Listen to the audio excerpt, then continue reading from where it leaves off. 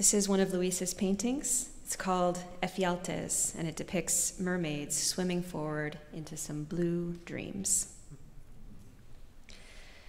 Many of us know that diseases like Alzheimer's are ca- caused by misfolded proteins in the brain, but you may not know that the brain also has electrical rhythms, much like music. So, in Act Two, Rhythms and Transitions, you'll be hearing from a scientist who studies just that UCSF researcher Dr. Kamalini Ranasinghe. Then we'll hear the world premiere of a very special piece of music, which was composed based on a real EEG recording as a collaboration between the SF Conservatory of Music, Technology, and Applied Composition, as well as UCSF neuroscientists. Act two will round out with a talk from UCSF's Lea Grinberg from the Global Brain Health Institute, who will teach us about exactly how the brain moves between these two worlds, asleep and awake, and how that toggling between those two worlds can become disrupted in diseases like Alzheimer's. Please enjoy Act Two.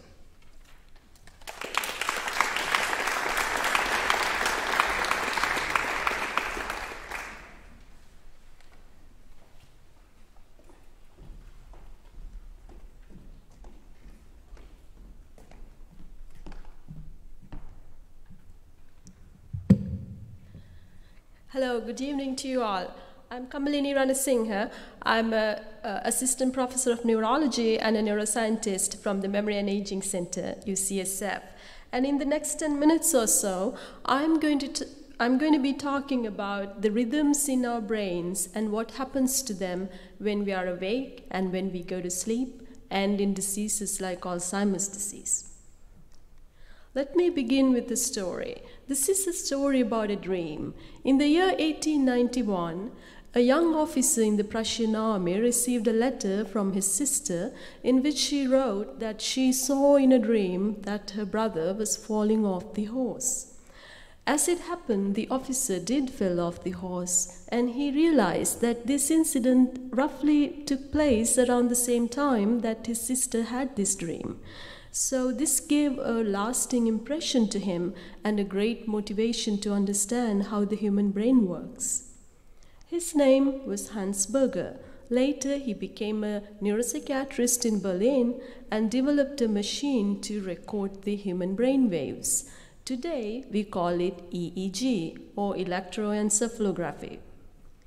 At the UCSF Memory and Aging Center, we not only use EEG, but another technique called MEG or magnetoencephalography, which is recording the magnetic field generated by these neurons firing in our brains.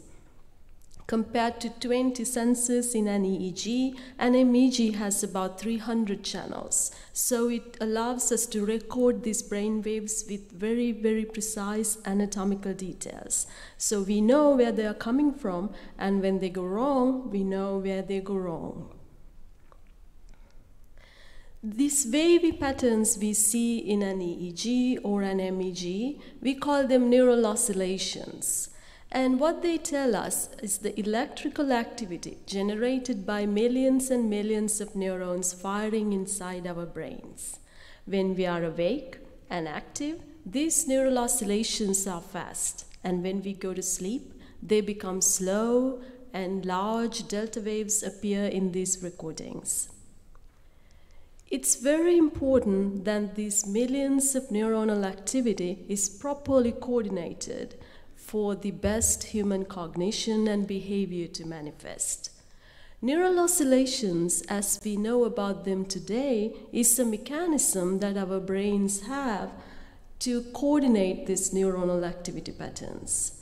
To put it in very simple terms, two neurons that are firing in the same cycle, they are better coordinated in and much more effective interaction happens between them than those neurons who fire off cycle. So, just like a conductor brings temporal coordination to an orchestra, neural oscillations bring temporal coordination to neuronal firing. So, when neurons fire together, the synchrony is high. When they fire at random, the synchrony is low. But just like in an instrument, we have to have the perfect tuning for the best cognition and behavior to manifest. It shouldn't be too high or too low. Much of what happens to our brain rhythms when neurons die, we've learned from patients with Alzheimer's disease, where neurons die and neural circuits become degenerate. What we found was that in patients with Alzheimer's disease, neuronal synchrony becomes either too low or too high, and in specific brain regions. For example, in the posterior part of the brain, the synchrony becomes too low, and in the frontal and the parietal parts of the brain, the synchrony becomes too high. Alzheimer's disease is a disease of two proteins amyloid beta that gets accumulated outside the neurons, and tau, which gets accumulated inside the neurons. So, are these proteins associated with altered rhythms? Indeed, that's what we found. We found that the uh, the neuronal reductions, synchrony reductions that happens with this disease is highly associated with tau accumulations, whereas synchrony increases that happens in Alzheimer's disease is tightly coupled with amyloid accumulations. Let me tell you a little bit more about sleep and memory. Although we do not know exactly how the memories are formed in our brains, we do know that our brains replay the neural circuits when we go to sleep, those neural circuits that are activated when we are awake and when we learn things. So, this happens as a crosstalk between hippocampus and those cortical slow waves that gets generated when we are at sleep those large delta waves that I showed you when the rhythms become slow. This is a very important mechanism that happens in our brains when we are at sleep, and it allows these neural connections to be strengthened to learn these experiences and consolidate our memories. So, let me tell you a little bit more about these neurons which producing these oscillatory rhythms in our brains. There are millions and millions of neurons in our brains connected to each other via tiny little junctions called synapses. These neurons are either excitatory or inhibitory. Excitatory neurons are neurons that stimulate or enhance the activity of other neurons that they are connected to. Inhibitory neurons, on the other hand, are neurons that inhibit or shuts down the activity that they are connected to. Neural oscillations are produced as a complex combination of the activity of these excitatory and inhibitory neurons in our brains. So, which ones go wrong in Alzheimer's disease? What we found was that they both go wrong. Specifically, the excitatory abnormalities that are associated with tau accumulations, whereas inhibitory abnormalities are associated with amyloid accumulations.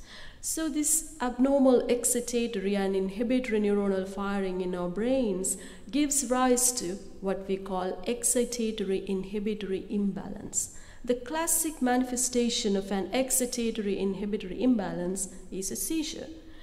And indeed, with our work at UCSF, we found out that patients with Alzheimer's disease have a very high incidence of subclinical seizures happening in their brains. These are subclinical, so patients do not know that they're happening. They don't feel anything. There are no clinical manifestations, but these abnormal electrical activity happening inside their brains and it happens about 42% in, in about 42% of patients with Alzheimer's disease compared to 11% in normal healthy elderly. Not only that, patients who do have these conditions, they progress much faster in their clinical decline compared to those who don't. So in summary, I've been telling you all about brain rhythms and how they go out of tune in conditions like Alzheimer's disease. That also gives us great hope to understand them better. Let me emphasize a few key concepts that we've learned from this research. One is that measuring these brain waves gives us a very fine tool to quantify the functional deficit that happens in our brains in these conditions like Alzheimer's disease and neurodegenerative conditions where neurons die. It becomes all the more exciting and interesting to uh, measure these brain waves so that we can understand the exact deficit and find out who, which patients are going to respond to the novel treatments that are coming up.